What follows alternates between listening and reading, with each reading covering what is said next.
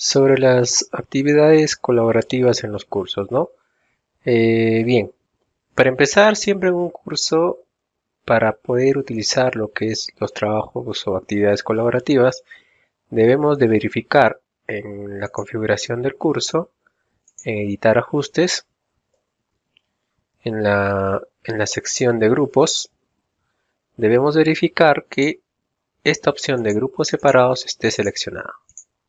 ¿No? Muchas veces está por defecto en no hay grupos, pero debemos verificar que estén como grupos separados.